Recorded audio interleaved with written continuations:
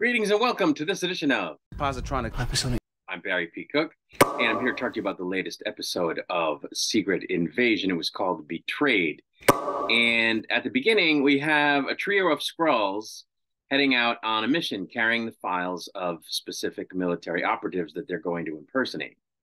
Next, some of the members from the meeting that Gravik was previously at, the meeting of the council, visit his facility where he explains that the people from the previous scene will be impersonating the military members whose files they had in order to carry out an attack, as well as that the experiment his people have been working on will create super Skrulls, which are versions of Skrulls that can mimic the abilities of others, not just the faces. We get a flashback to New York City in 1998, where Fury visits a diner at which he meets with someone called Varra, who is the Skrull that introduced him to Gravik and apparently the one he's married to in the present. And I just want to say right now that I hate the glasses that he wears in the present. Uh, it's not a good look for him. Anyway, in the present, he tells her that he's retired and that since he's not one for golf, he may take up revenge in his spare time. She reads him the riot act, though, about how after she mourned his loss from the blip, from which he eventually returned, he ended up taking off again and leaving her by herself. But this time of his own free will. Fury seems to think that she's been in contact with Gravik, and she does get a cryptic phone call, which she shrugs off as nothing important, though Fury is obviously dubious. Gravik talks with Gaia about who ratted out their group because he thinks she did, which it seems is the case, but she insists it was Brogan, and he at least pretends to buy that. Apparently, he and she are going to London for a parley with Keller, aka Talos, about her, during which Gravik says that Talos is lucky he hasn't sent Gaia back to him, her father, in a body bag, at which point Talos attacks him, but he's made to stand down by a room full of Skrulls who all take on the appearance of Gravik. Talos tells him that he's not going to let Gravik continue his war on humans in anonymity, that he'll expose Gravik and his people because the humans will rally together against a common foe and be very formidable because nothing brings humanity together like a common common enemy. As he's leaving the meeting, Talos bumps into someone and a phone is dropped, but then picked up and handed to him. After the meeting, he meets with Fury at a pub, and it's a bit contentious given how they parted ways before. It turns out that the phone was a handoff from Gaia, which had intel that they can use.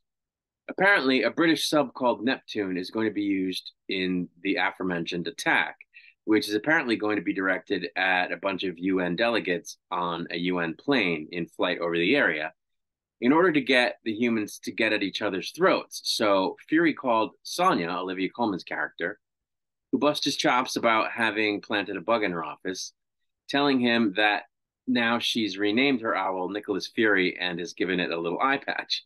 He asks her to do something about the sub attack, but she said she's too busy trying to figure out who exposed her butcher shop operation. He then talks with Talos about how Talos and his people were the ones who gave Fury all the intel he needed over a number of years that allowed him to ascend the ranks at S.H.I.E.L.D., while on their way to some kind of government official's house to stop the sub attack by trying to force the guy, who is, of course, a Skrull, to call it off. But when he declines, Talos ends up shooting him and then has to try to get his code word from Gaia as the sub, which has received the order to fire on the UN plane, gets closer to actually doing it. So, Gaia goes into a room where the actual Bob is being held, the actual government official, and fishes the code out of his mind, allowing Talos to impersonate Bob, using the code word to call off the attack. But she exposes herself in the process, causing her to have to flee, which she tries to do on a motorcycle, only to be stopped by Gravik, who seems to tell her that he set up the attack on the plane to try to find the traitor in his midst, which he apparently has, before shooting and seemingly killing her.